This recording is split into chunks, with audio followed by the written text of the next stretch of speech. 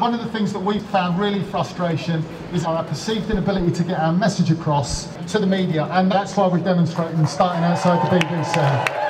You were all over us during COVID. You wanted to interview nurses because they'd been looking after patients that were dying in the ITUs. You wanted, you wanted us to do vlogs so that you could broadcast them. You engineered the clap for carers when you have the same health workers outside your corporation telling you that the NHS is on its knees, that we cannot carry on like this, that we need a pay rise to save the NHS, and you aren't covering it, something is shockingly wrong with the press in this country. So that's why we're here.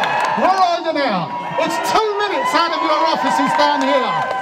You've been an absolute disgrace. You should be ashamed of yourselves. We lost 640 health workers because of COVID. We're standing outside the BBC now because you've completely dropped us. On the 5th of April, one of my colleagues wrote on Facebook that she goes to work fearing for her life, that they don't care enough about PPE.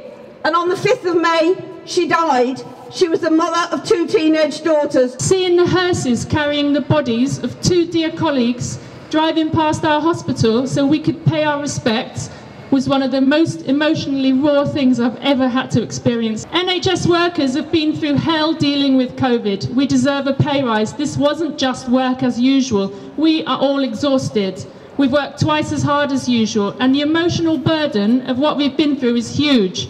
Witnessing the distress of our patients and going through the grief of losing dear colleagues. The nurses and the doctors and other healthcare workers on the wards, even in some ITUs, were wearing these masks show everyone what we were wearing. In central London, we've been quite lucky in terms of our PPE, but going around different hospitals, I've spoken to various staff in critical care in the wards. I've heard that they weren't fit tested to wear an FFP3 mask and were given these expired masks from eight years ago, and they all caught COVID. Enough is enough! Enough is enough! Enough is enough! I've personally never been fit tested and I've been wearing a mask like this all night on nights and I will be expected to wear this again until somebody has definitely proven COVID and it's just not good enough. What do we want? Pay rise! When do we want it? Now! What do we want? Pay rise! When do we want it? Now! We should be paid properly. How can we be expected to work through a second wave when we're physically and emotionally exhausted. And on top of that, we're worrying about paying our bills. It's routine for a 12 hour shift to stretch into 13 hours, 14 hours, 15 hours, all without a break. As a single parent, I've always had to work two bank shifts every month to pay for my childcare. That is tiring. We need our time off to recover. Our work is hard. Keep our NHS alive! What do we want? When do we want it? This is not just a fight for pay, it's a fight for the NHS itself. Because if NHS staff cannot live on their pay, they leave. If pay is poor, the NHS cannot attract staff through the door. Patients die when there's staffing shortages. There are over 100,000 vacancies across the NHS felt more so in mental health. We have lost 10% of the nursing workforce in 10 years. The staff shortages meant that the NHS was completely unprepared for the pandemic. Mark Walport from SAGE, the Scientific Advisory Group for Emergencies, said that we are on the edge of losing control, and that is terrifying for anyone who works in the NHS. Winter is a horrible time. Last year it was 5,549 people died on trolleys alone. And these are the problems we've been dealing with in the NHS for years now because of austerity and privatisation. Our NHS has a trustworthy blue and white logo behind which lurk leeches, parasites and corporates who daily strip the dignity of health workers and erode the service. The Health and Social Care Act that was introduced in 2012 that has split the NHS up into 40 different trusts and made it so hard to actually do anything functional. We've seen that with the track and trace, we've seen it with the testing failures, we've seen that outsourcing doesn't work because there's no communication and people who are organising these roles don't have a clue what they're doing. One, two, three, four, five!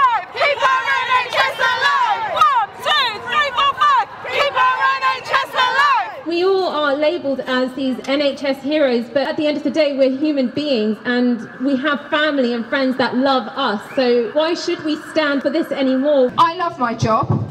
I didn't go into nursing for the pay, but I didn't go into it for this pain either. The pain of cancelling ward activities, escorted leave, because there were not enough of us. Of seeing patients transferred miles away from home because there are not enough beds. Of seeing them deteriorate as they stagnate on a waiting list. Leaving a shift upset because I could not provide the care that my patients deserved. The pain of seeing how COVID-19 has impacted the nation's mental health and knowing that we simply do not have the resources to cope with the demand. Our patients will benefit from us getting a pay rise a lot more than we will. This is why we are here. Thank you.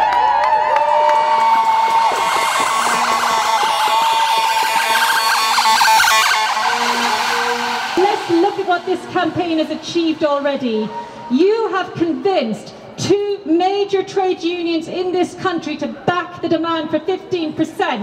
That's huge. That's significant.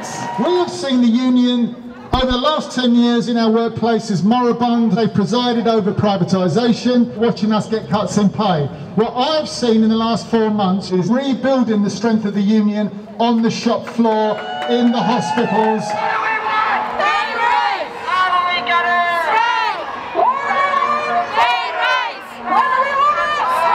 Why is it that the French health workers got such a big pay rise? And it's because they went out on strike during the pandemic. I'm a privatised worker, outsourced. We've had to go out on strike at least three times since 1997 to win just some semblance of what our brothers and sisters have in terms of pay and conditions in the NHS. They say that there is not enough money. This is at a time when hundreds of millions of pounds have been devoted to getting people back into restaurants. More than 100 billion pounds on bailing out huge corporations. 200 billion pounds devoted to Trident for the next 20 years. The money is there. They are just not providing it to NHS or the NHS staff. So yes, we are well within our rights to protest for fair pay.